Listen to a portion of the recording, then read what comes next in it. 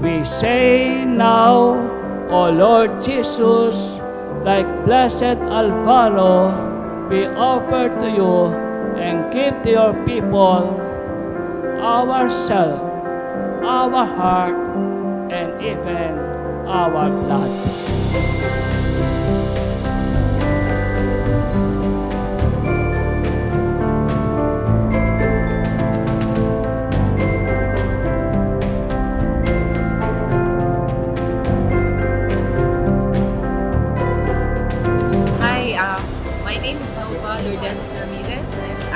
I'm City. I flew in just this morning to attend this wonderful celebration of the enthronement of the, the Holy Blood Relic of Blessed Alvaro. So I, I thank God, praise God for this opportunity.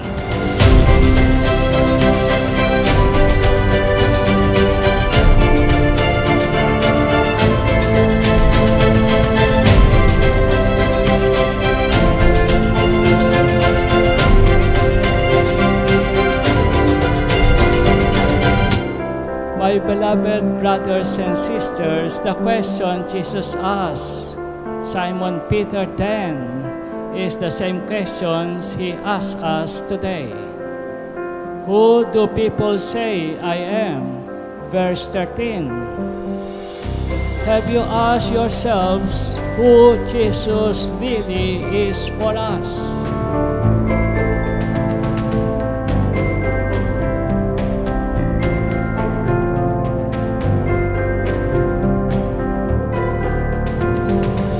Hi everyone, my name is Gabi Aglipay and uh, we're here today at the placement of the relic of Blessed Alvaro de Portillo. And it's very nice to see fellow Opus Dei members uh, in uh, one unified mass and I look forward to seeing you guys very very soon.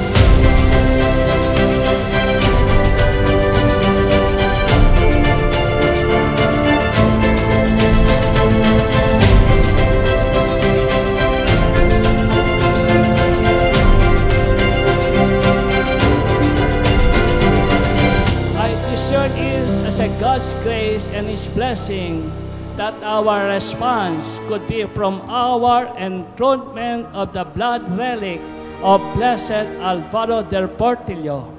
testify to all and to each one that we authenticate through these letters that we recognize that the drop of blood of Blessed Alvaro del Portillo y Diaz de Solano is applied on the cloth, skillfully and respectfully placed in a silver case of round form with fortified glass lined with red silk, well closed and sealed with our seal.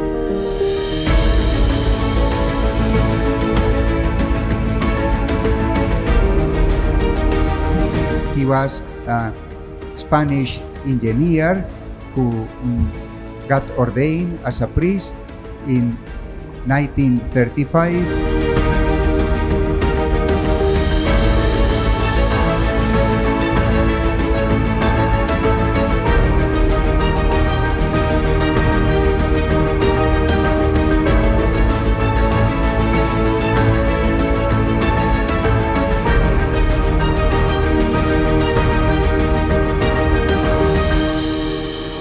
Hi, I'm Livinio Sese, a member of Stairway to Heaven. I'm here to witness the installation of the relic of Father Portillo. I'm so glad and so blessed to be a witness of this very momentous event. Ako po si Rona Mariquita. Galing pa po ako from Batangas City. Pupunta po ako dito kasi gusto ko ma-witness yung enthronement ng relic ni Blessed Alvaro. Nakakataba po ng puso na nakarating po ako dito. Maraming maraming salamat po.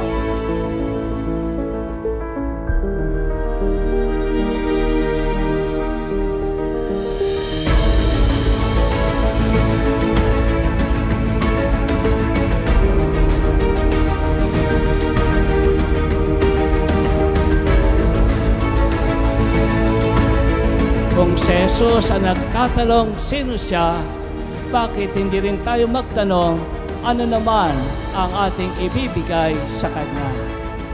Taking from the life of Blessed Alvaro and what He did to us, especially here, we can say, ourselves, our heart, our blood.